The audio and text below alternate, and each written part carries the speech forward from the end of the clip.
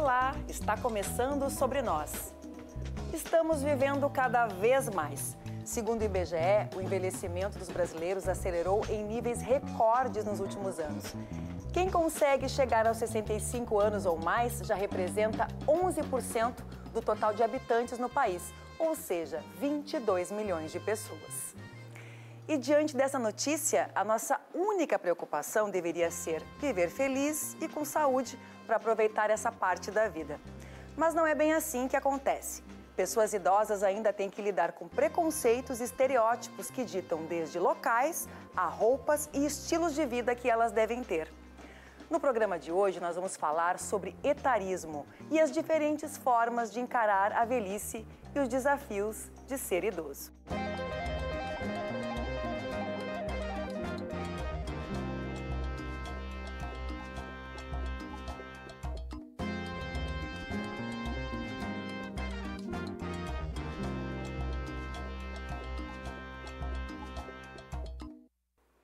O idadismo ou etarismo afeta cada pessoa de uma forma diferente, mas sempre preconceituosa.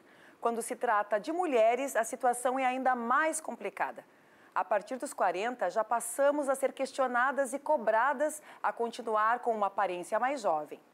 A velhice da população negra e indígena também é difícil, porque carrega um histórico de discriminação e desigualdades. E quando se fala da população LGBTQIA, nem se fala. Para falar sobre esse tema, estão aqui conosco a Iara Deodoro, que é coordenadora do projeto Atividade Não Tem Idade do AfroSul Odomodê. A iniciativa que tem um olhar diferenciado para a população idosa negra do Rio Grande do Sul e promove atividades que fortalecem laços comunitários, inspiradas pela visão afrocentrada que valoriza a ancestralidade e a responsabilidade coletiva. E temos também a Raquel da Silva Pavim, que é gerontologista especialista em envelhecimento e qualidade de vida. Ela é pesquisadora das velhices femininas, faz apoio social e avosidades e também é articuladora do grupo de convivência Tecendo Vivências e mediadora do grupo de estudos sobre velhices plurais e é autora do livro Mulheres Idosas e o Apoio Social. Dona Yara, Raquel, satisfação tê-las aqui. Bom, antes da gente continuar esse bate-papo, eu estive nas ruas conversando com algumas pessoas, sabendo o que, que elas pensam a respeito da velhice, né? Qual é a perspectiva delas? Vamos ouvir? Tenho 67 anos. Eu me considero um garoto de como se tivesse 40. Tenho 72 anos e não me acho uma pessoa idosa, tá? Eu sou idosinha, tá? E a senhora acha que as pessoas idosas sofrem mais preconceito? O que, que a senhora acha assim? Oh, sofre bastante. Às vezes eles acham que os mais de mais idade não sabem o que estão falando. Tem uns que dizem, ah, tá caduco, tá, tá ultrapassado no tempo, né? Tu tem medo de envelhecer? Já pensou na tua velhice? Tenho. Por quê? Medo de morrer, né?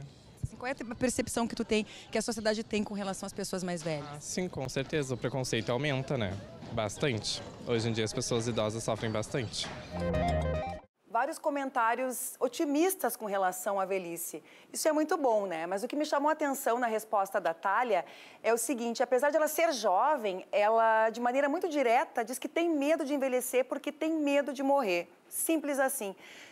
Raquel, eu te pergunto, será que essa, essa associação da morte com da velhice com a morte e vice-versa não faz exatamente, não é a raiz aí desse etarismo, entender que a pessoa já está velha, já está mais perto do fim, então, portanto, a vida dela já não, não tem lá essas tantas graças.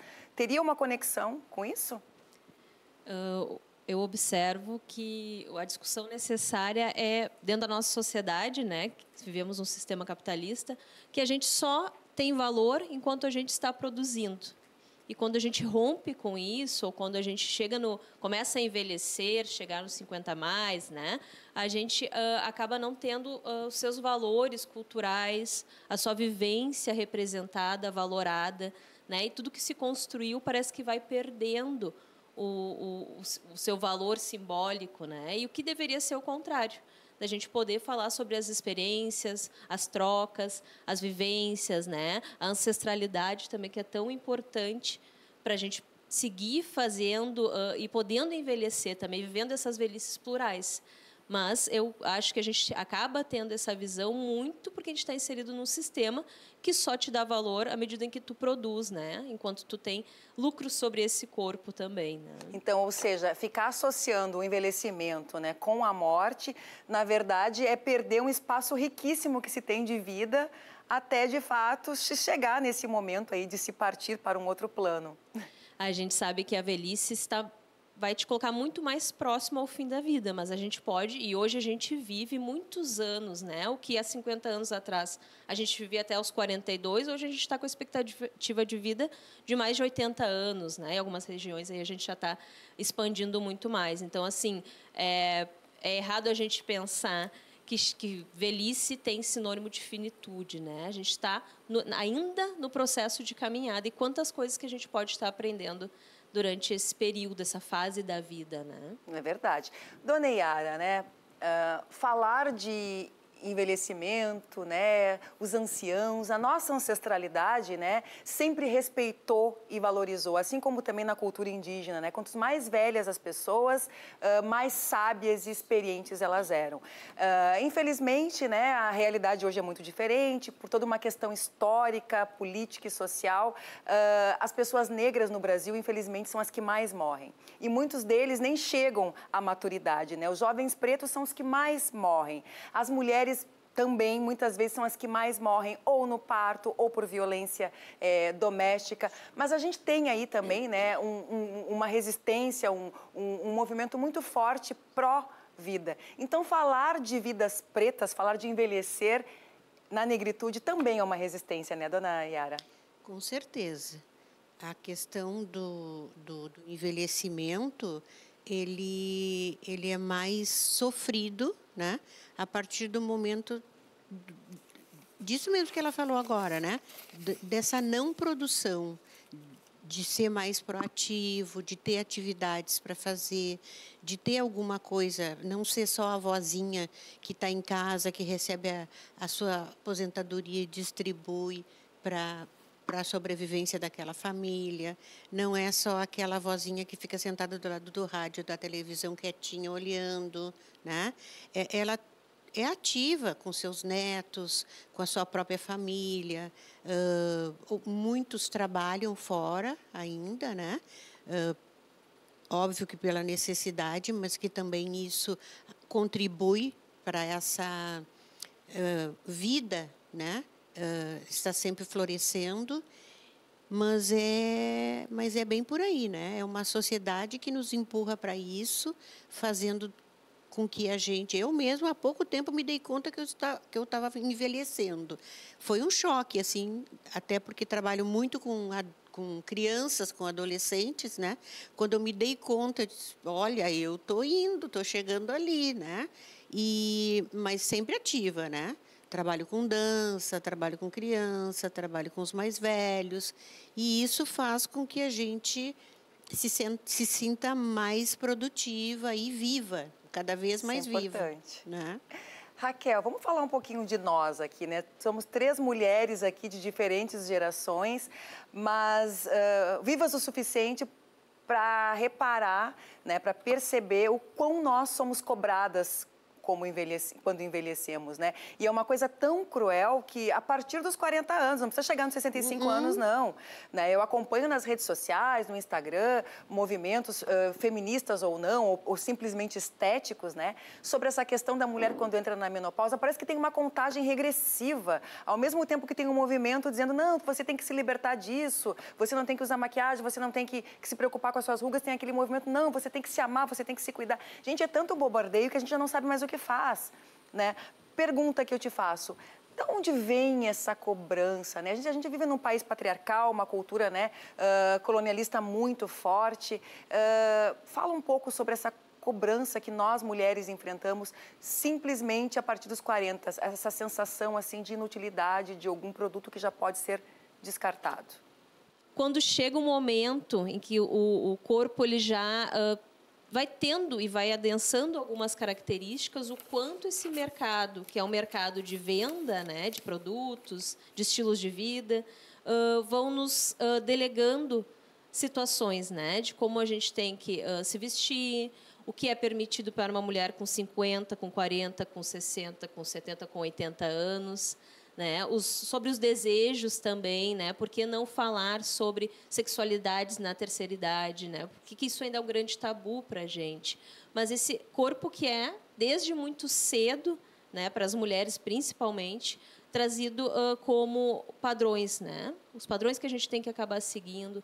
E eu identifico que na velhice isso se intensifica mais ainda, né? Porque aquele corpo acaba muitas vezes não tendo a visibilidade que merece, como a Miriam Goldberg fala muito, antropóloga, né? Ela diz: a gente pode sim viver uma bela velhice, a velhice tem que ser vista como as expressões, o cabelo branco, né? a gente conseguir trazer isso mais expressivo também nos espaços de mídia, a importância das artistas deixando seu cabelo branco, isso para mim ele é revolucionário, né? Que a gente possa também viver isso nas, nos nossos lares, nos nossos espaços de convivência, né? Então eu acho que está muito vinculado a essa sociedade que coloca uh, estereótipos, Sim, formas, que cria padrões, padrões né? Isso. Daniela, uma pergunta bem específica, a gente está quase indo para o intervalo. Uh, não tem como eu olhar para a senhora e não me identificar com a minha mãe, com a minha avó, enfim, comigo também, né? Porque eu quero chegar nessa, na sua idade com essa plenitude. É, as mulheres pretas, as avós pretas, o que, que elas querem, o que, que elas buscam pela sua experiência e pelo projeto Atividade Não Tem Idade? Porque nós, mulheres negras, sempre fomos conhecidas como aquelas cuidadoras, né? Cuidávamos dos nossos filhos, dos filhos das outras, dos nossos netos, tem muitas mães e avós que cuidam dos netos. Hoje, essas mulheres que buscam esse projeto, o que, que essas mulheres uh, negras já empoderadas com seus 50 anos ou mais estão buscando para elas? Vida, né? Porque há bem pouco tempo atrás, o papel dessa mulher era esse mesmo, de ficar em casa, de cuidar dos netos, de estar com tudo pronto, esperando o pessoal chegar em casa. Uh, principalmente, então, se não trabalhasse fora, era o, o, o seu lugar real era em casa, né? Não tinha nem muito tempo de dar uma saidinha, dar uma passeada. Essas mulheres, e te confesso que algumas precisam de um grande convencimento para chegar até esse projeto, porque elas acreditam que ali não é lugar para elas, né? Porque o que, que eu quero com pilates? O que, que eu quero com música, com dança, né? Mas passaram a vida inteira e foram educadas para isso, né? Foi uma educação que veio de mãe, que veio de vó, né? Te dizendo o que tu deveria fazer, de que forma tu deveria te comportar, como tu manter a tua família, coisas desse tipo. E hoje em dia a gente já vê as mulheres mais libertas de, desse uh, desse sentimento, né, de que, de que pertence boa. só à sua casa, à sua família. Então a, a gente tem desde mulheres dos seus 40 e poucos, quase 50 anos, até mulheres com 70 anos, até mais. Fazendo pilates, fazendo uma ginástica. Fazendo o que elas querem, né, dona Yara? E, e que podem. Para isso é o que importa, né? Exato, e que tem o direito de fazer. A gente vai a um rápido intervalo e a gente volta a falar nesse assunto.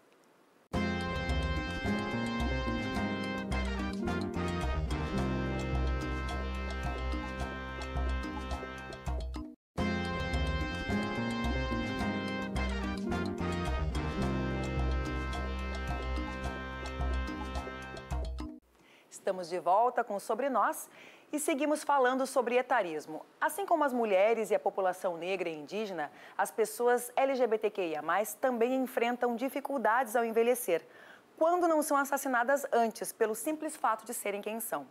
E essa realidade motivou o jornalista mineiro Yuri Alves a criar em 2022 a websérie LGBT 60 Corpos que Resistem. Vamos conferir? Música não conseguia entender por que, que eu apanhava tanto. É a cara emborrecida minha porque botaram essa bosta desse vestido em mim. Eu não poderia viver como mulher. Eu não tinha saída. Aquelas calcinhas de babado, arrancava os babados. Saí de casa com 12 anos, fui expulsa de casa. Fiquei uns dois ou três dias na rua. E ela dizia, se você der pra pederasta, eu lhe mato.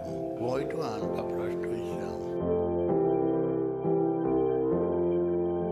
Quando a gente ia para a rua, o que é que eles faziam? Ah, ah, ah, Olha, meu filho, homem é tratado de senhor. Mulher é tratada de senhora e gay, travesti é tratada como viado velho. Maricona. É, nós estamos vivos, não é? E não apenas vivos como sobreviventes é, zumbis, mas nós estamos bem vivos. Minha luta vai até eu morrer.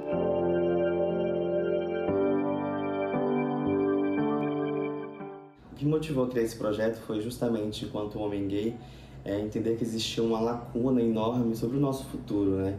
Se a gente pensar, a gente ainda está lutando é, pela sobrevivência, principalmente as pessoas trans. É, e agora que a gente está conseguindo ver modelos de família sendo construídas e sendo é, inseridas na mídia, então a velhice muitas vezes ela não é pautada. Então foi justamente nessa inquietação de, de não conseguir me ver e nem ver a comunidade na terceira idade que eu fui atrás dessas histórias e lancei esse projeto. E o que elas deixam de lição é esse legado, né? Porque se eu estou aqui hoje para falar sobre esse tema, é, antes mesmo de eu nascer, essas pessoas já estavam é, na luta, nas ruas, lutando para a dignidade e o respeito perante a nossa comunidade. Então, esse projeto serve não só para os jovens poderem é, conhecer um pouco mais da luta é, de quem fez muito pela gente, mas também uma forma de agradecimento a esses heróis e heroínas que ajudaram e muito a construir o que a gente tem hoje em relação aos nossos direitos. É um belo projeto, hein? E sobre essas pessoas que também são tão invisibilizadas. E este ano vai ter a terceira temporada, a gente vai ficar de olho para conferir, porque é muito necessária essa reflexão, não é mesmo, Raquel? Exato, a questão da visibilidade, né, desses grandes temas que a gente acaba muitas vezes não colocando em pauta, né, um grande tabu, assim como falar também sobre as diversidades, né, das múltiplas sexualidades. Por que, que isso ainda é um grande tabu, né? A gente fica se questionando. E a importância de mais e mais projetos, filmes que a mídia traga também essa importância, né, de que existe uh, um colorido de possibilidades e que a gente precisa respeitar e continuar evoluindo enquanto sociedade, senão a gente não rompe com os preconceitos, né? É, passa uma ideia assim de que a pessoa depois que ela envelhece, enquanto ela é jovem ela pode ser tudo, né? A LGBTQIA+, todas aquelas letrinhas, mas depois que ela envelhece é como se tudo aquilo tivesse que ter ficado no passado da onde que se saiu essa, essa, essa ideia de, de, que a pessoa mais velha... Aí vem dentro daquilo que tu falou, que é a questão da sexualidade. A pessoa idosa é como se ela, a sexualidade dela não existisse, né, Raquel? É como se o prazer acabasse quando chegasse nos 60 anos. Né? Que a gente sabe, os estudos, os estudiosos, as pesquisas mostram, as pessoas relatam que isso não acontece, né? A gente continua com desejos, a gente continua com libido. E aí a gente vê a importância também de muitos profissionais uh, se renovarem, para quando as pessoas chegarem nos espaços de atendimento, das nossas políticas, políticas públicas, para que elas sejam uh, acolhidas e entendidas na sua diversidade. Acredito que isso ainda a gente precisa evoluir muito enquanto sociedade. Alguns estados já evoluem mais, mas a gente precisa avançar para isso, para que essa acolhida, para esse olhar, né, uh, mais humanizado também dos processos, para que as pessoas possam falar sobre as coisas que vivem, os desejos que sentem, Sim. sem estigmas. Dona Yara, o AfroSul do Modelo é um espaço maravilhoso, é um espaço plural, democrático, né? Lá todas as cores, todos, todos os sabores, né? É, como é que é vista essa questão LGBTQIA+, nessa atividade não tem idade? Tem pessoas que representam, né, os LGBTQIA+, como é que se estabelece esse acolhimento? Ainda não tiveram coragem de chegar até lá, mas estão todos convidados. É. É sem problema nenhum, muito antes pelo contrário, né? A gente é um espaço de cultura, aonde uh, é um espaço de acolhida também, né? E, e, e, sem não tem não tem essa essa preocupação. Uh, a gente lida com arte, né? E a arte tem uma abertura tão tão grande, né? E é tão fundamental a, a participação e presença uh, dessas pessoas que fazem arte como ninguém, que não vai ser lá que vai ter problema. Né? Sim, não seria lá não. realmente, né, dona Yara? e, e para 2024, nós estamos em 2024, o ano passado foi lançado o projeto Atividade Não Tem Idade. Uh, o que, que se pode esperar do projeto esse ano? Bom, a gente tem. É, isso é um projeto que tem um, uma é, que foi através de um edital, né? Sim. Então a gente tem dois anos de projeto. Esse projeto já existia modestamente. Agora, a partir desse edital do Comui, a gente consegue trazer ele de uma forma mais completa, da forma que a gente queria, né? Porque quando o projeto começa a andar, tu começa a perceber, ah, mas podia ter mais isso, podia ter mais aquilo. Então esse momento, esse, esse essa, esse mês vai ser exatamente para fazer essa avaliação. Essa avaliação. Uhum. E como é que a senhora percebe desde o lançamento? Houve um interesse, houve uma busca? Bem grande, bem grande. A gente fez o lançamento e no lançamento a gente já tinha, inclusive, meninas prontas para fazer inscrição. Né? Então ali as pessoas já começaram a se interessar mais, querendo, uh, sabendo mais do projeto, né? E já fazendo inscrição e já na outra semana já começando. Ah, que coisa bem boa. Raquel, tem um projeto teu que tem o nome Avosidades. Fala um pouco, é um nome curioso, né? Avosidades. Eu até fui procurar no Google e não existe, porque óbvio, né? Foi, foi, foi criada uma terminologia para discutir um pouco isso. A senhora é avó, né? Quantos netos a senhora tem? Quatro. Quatro. Tu tem avós? Não tenho mais. Não mais? Não. Fala um pouco desse projeto. Assim, ele... Uh, na realidade, dentro do grupo ao qual eu executo, que é um grupo de convivência para mulheres 50 a mais, uh, existe um grupo muito grande de mulheres avós e eu desenvolvo a minha pesquisa hoje de doutorado sobre a discussão das avosidades, né? Como é que é esse, essa, quem são as mulheres idosas avós, como elas se veem nesse período, nessa fase, nesse fazer avosidades. E aí eu coloco um S porque Tão bonitinho são, esse termo. São, são muito diversas, né, as avosidades. Assim como a gente tem a menção da avó uh, lá dos contos infantis, que algumas ainda reproduzem algumas coisas, a gente vai ter a avó extremamente moderna, né, que vai participar ou que não vai querer participar das atividades com seus netos. Então eu quero, eu estou descobrindo isso e o grupo também me ajuda muito, né, na observação, no dia a dia, nas atividades, a entender como que a gente pode, será que a gente já pode falar no novo conceito de avosidade no contemporâneo? E qual seria esse novo conceito da avó moderna? A avó moderna é aquela que faz o que tem desejo. Acho que por aí, né? A importância de ter a sua autonomia, claro que superpassa, né? Por questão de de uh, autonomia financeira, de acesso a recursos, a bens, a serviços, mas é uma avó que vai, em algumas falas, se eu posso trazer aqui já um pouquinho, uh, querer só passar o fim de semana. E não ter né, toda aquela obrigatoriedade de, às vezes, criar o neto desde né, de, do dia a dia da sua casa. Então, é um pouco desse perfil, mas o, o desejo do que elas gostariam de fazer daqui para frente, né? Se entendendo nesse papel e também colocando limites, que é algo que aparece, assim, uma palavra que aparece muito forte nas falas. Né? Sim. Bom, dona Yara, a senhora é a única avó que tem aqui no, no estúdio, né? Eu vou lhe perguntar que tipo de avó a senhora é ou que tipo de avó a senhora se tornou? Eu acho que uma avó bem liberal, assim. Gostei. Fala mais sobre essa avó aí. É, a avó que realmente curte em ficar com os netos, brinca com netos, uh, passa a mão por cima de netos, né? Uh, mas também sei dar limites, né? Brincar. Né? Eu tenho uma netinha pequena, de quatro anos, eu sempre brinquei com ela, é, até porque a gente mora distante, ela mora em São Paulo. Então, quando ela vem ou quando eu vou, é brincadeira o tempo inteiro, é rolar no chão. É, é essa avó que eu sou, né? Sim. Né? avó bagunça. Tem um aspecto, a gente está aqui falando de um aspecto muito divertido, mas tem um aspecto que é, que é, que é, que é preocupante, que são as avós que acabam sustentando os lares, né? Quando elas chegam na fase da vida que elas deveriam estar curtindo a sua aposentadoria, uhum. muitas vezes elas são a rede de apoio daquela filha ou daquele filho, daquela filha que é mãe solo ou daquele filho que é pai solo, enfim, e elas acabam sendo a principal renda da casa. Tu tem relatos disso, experiências sobre isso, Raquel? Acho que é uma realidade muito brasileira, né? Inclusive, da, talvez mais da avó do que do avô. Aí entra de novo a discussão de gênero, né? Da mãe, mulher, avó e que acaba repetindo ciclos. Isso, porque a gente também tem uma, uh, uma questão de que as mulheres envelhecem mais e mais tempo, né? Vão durar mais tempo na velhice. Então, acabam estando no, na rede de apoio mais presentes. Então, assim, a, aparece mais até na minha pesquisa de mestrado, onde eu discuti o apoio social, né? Essas avós que sim, que são o único uh, a mantenedora, né? Muitas vezes a família mora na casa da avó, né? É a aposentadoria da avó que dá o sustento ou o benefício de prestação continuada, né? Em, em questões de da realidade do, do Covid, né?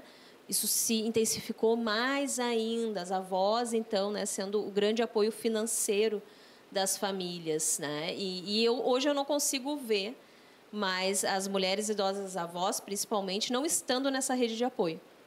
Porque eu acredito que quase todas as famílias brasileiras a gente tem não a materialização de uma avó materna, mas uma avó de coração, uma tia-avó que faz e exerce esse papel. Então, para mim, assim, é por isso que eu sigo pesquisando esse tema, porque ele, para mim, ele é encantador. E acho que a saída também de muitas questões que a gente tem hoje como respostas estão nas mulheres mais velhas. Né? Então, assim, é, é, algo que é notório na realidade brasileira como um todo e se a gente olhar para os miúdos de territórios também. Talvez isso, dona Yara, seja um reflexo também uh, de algumas mulheres 50 a mais, algumas avós, não se sentirem uh, plenas para participar do projeto. Talvez falte aquela grana que ela teria que ajudar o neto, o filho, ou talvez nem a questão da grana, mas de ficar cuidando, porque tem uma relação muito tênue entre o afeto e também um, e um pouco de abuso também, né? Eu não sei se a senhora concorda com isso, dona Yara.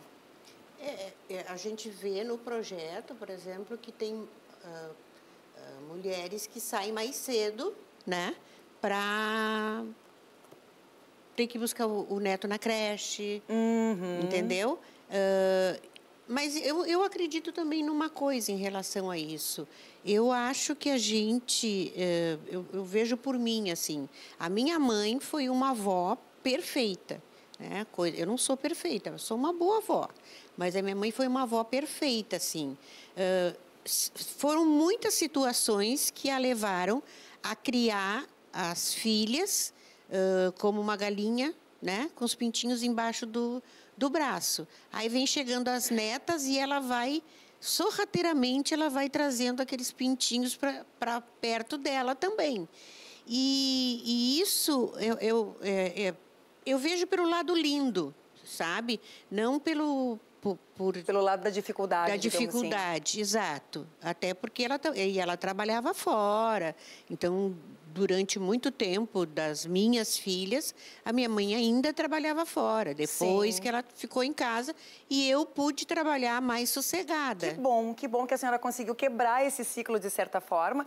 E eu acho que assim são as diferentes formas de se envelhecer, são as diferentes velhices, né? Sim. Eu acho que tem isso também, tirando todos esses embargos sociais que a gente vive. Eu acho que o mais importante de envelhecer é fazer suas escolhas, que seja querer cuidar dos meus netos ou ir para o samba e deixar os netos com outra pessoa, não é mesmo, gente? Também. Raquel, Dona Yara, eu só tenho a agradecer a presença de vocês aqui. Foi muito bom conversar com vocês. Obrigada. Obrigada. E nós terminamos mais um programa sobre nós. Eu aguardo vocês semana que vem. Obrigada.